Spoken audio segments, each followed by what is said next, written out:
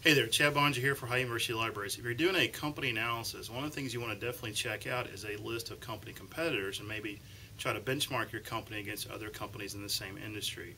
This video shows you how to use Mergent Online to look at a list of competitors for your particular company. So when you get to Mergent Online, the first thing you want to do is search for the company that you're actually analyzing. And for this uh, purpose, I'm going to use Dell. And we'll use Dell Incorporated. You get all kinds of tabs in here to play with. For the purpose of this video, I just want to show a list of competitors. So we're going to click on competitors there. And this gives us a pretty extensive list of competitors. Um, pretty good list there, a lot larger than what you'd find in Hoover's. And um, uh, you could possibly find some of the same kind of information in LexisNexis, you just might have screened for it slightly differently. So what I'm going to do is actually, uh, if you click on one of the companies, it's going to take you to their company profile.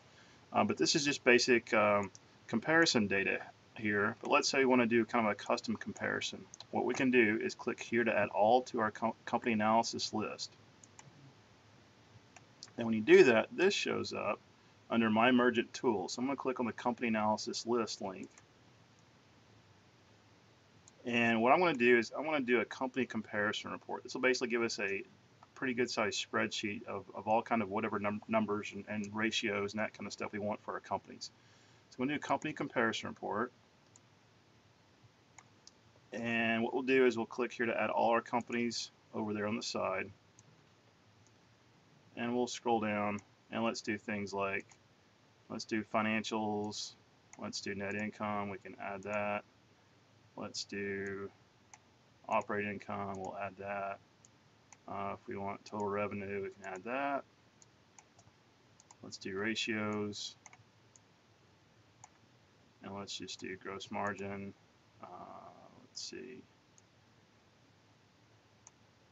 operating, net profit, we'll just add those. And then what we can do is go down and then do uh, select your format. I'm just going to do HTML. You can also download it to Excel if you wanted to and create your report. So what this will load is basically all those companies with the criteria that we selected. So a great way to actually go in and compare multiple companies in the same industry. Really great way to do that. Hopefully this helps you understand how to find competitors for your company. You might also use LexisNexis and Hoover's Online to generate a list of competitors, but I find that Mergent Online is one of the best sources to do this sort of thing. Hopefully this helps you, and once again, if you need some help with your research, look for the contact link on the business blog. Take care.